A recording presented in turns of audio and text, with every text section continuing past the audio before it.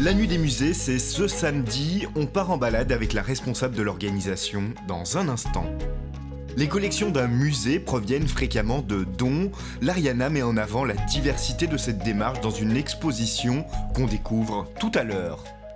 À la Perle du Lac, Art et Nature se retrouve cette fin de semaine dans des rencontres en plein air, teaser en fin d'émission. La culture à Genève, c'est culte. Il y a toujours un peu de magie lorsque l'on entre dans un musée. Ce samedi, la Nuit des musées active 28 lieux pour le plus grand bonheur des petits et grands. Certains sont des habitués, pour d'autres c'est une première. C'est le cas de la galerie Al Nord où nous retrouvons la responsable de la manifestation. Il y a un autre rythme, une autre forme de déambulation, une autre, une autre énergie si on veut bien euh, par rapport à cet accueil nocturne et, ça rend euh, les espaces différents, peut-être un peu cinématographiques. Il se passe quelque chose aussi entre les institutions, dans la rue. Euh, les gens portent euh, les, billets que nous faisons, qui sont des billets-objets sous forme de, de passe. Ça donne aussi un signe de ralliement. Il y a vraiment une ambiance très très particulière à la nuit des musées. Pour cette dixième édition, 131 activités seront proposées sur le thème de la matière. Matière, ça peut être la matière à penser, ça peut être la matière grise, ça peut être la matière que l'on touche, que l'on sent.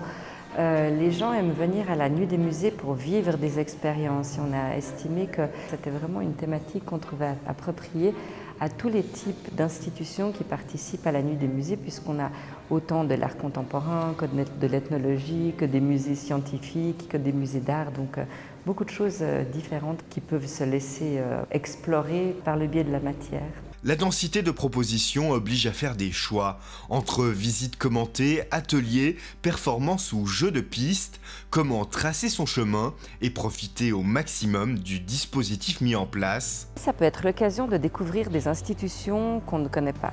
Donc euh, certaines personnes vont privilégier en début de visite des institutions dans lesquelles elles ne sont jamais allées. Ensuite, on va réfléchir euh, à quel public on est. Si on est avec des enfants, par exemple, euh, il y a des activités qui sont spécifiques pour les enfants.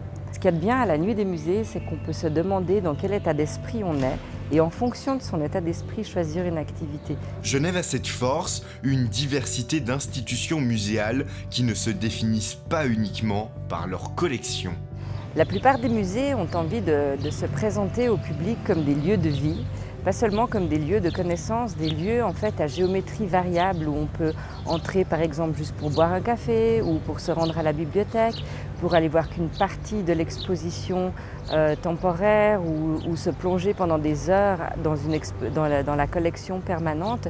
L'idée c'est de montrer aux gens qu'en fait ils peuvent vraiment euh, s'approprier le musée de la manière qui leur convient à eux. La nuit des musées c'est ce samedi dans 28 lieux.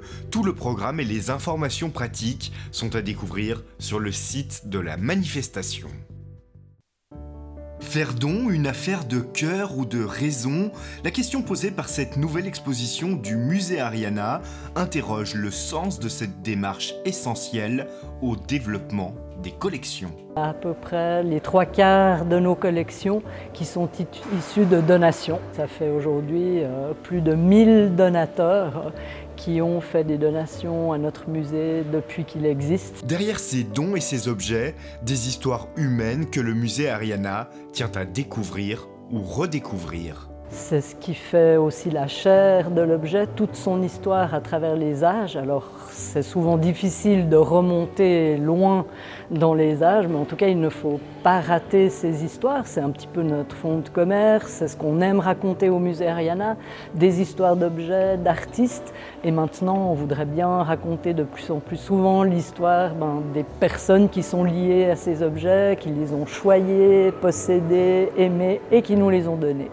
Dans 12 vitrines, l'exposition présente le but de ces dons ainsi que le profil de certains donateurs. Il y a par exemple simplement l'histoire d'un collaborateur du musée qui a suivi avec attention une de nos expositions, qui trouve des objets relatifs à cette exposition qui était la verrerie de Saint-Pré pour ne pas la nommer et qui sur cette brocante est ravi d'avoir trouvé ces objets et les achète pour les offrir au musée. C'est vraiment trop trop joli.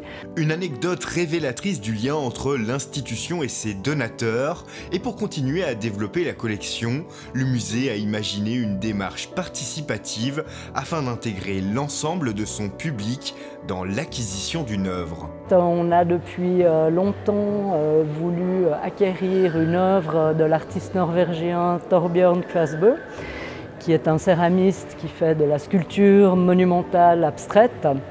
Et puis, bah, c'était difficile pour nous justement puisque nous n'avons pas de budget d'acquisition. J'ai pensé que vu l'enthousiasme des donateurs, parce que c'est chaque jour qu'on a des propositions de dons au musée, ce serait sympathique de proposer au public une opération de crowdfunding en fait et de leur permettre de donner quelque chose. Euh. À partir du montant récolté, une œuvre sera acquise par le musée qui souhaite par la même occasion créer un nouveau lien entre le public et l'artiste l'exposition Ferdon, une affaire de cœur ou de raison, est à découvrir au musée Ariana jusqu'au 2 mars 2025. Jusqu'à dimanche, la Perle du Lac se fait le cadre d'une manifestation alliant culture et environnement, les rencontres art-nature. Le but, c'est vraiment de rassembler les gens avec enthousiasme dans un cadre convivial pour euh, justement sensibiliser des gens à une thématique qui est euh, l'arbre, les forêts, euh, les jardins urbains pour notre climat. Ce parc, il est merveilleux quand même, on en surplombe un peu le lac, il est, très grand, il y a beaucoup de passages euh, et donc c'est l'endroit idéal pour présenter un tel événement en fait qui est gratuit pour tout le monde. Au programme, des conférences, des arbres habillés de tricots colorés, un dessin participatif ou des expositions de peinture, mais également deux spectacles dont cette nouvelle création, le poème de l'arbre.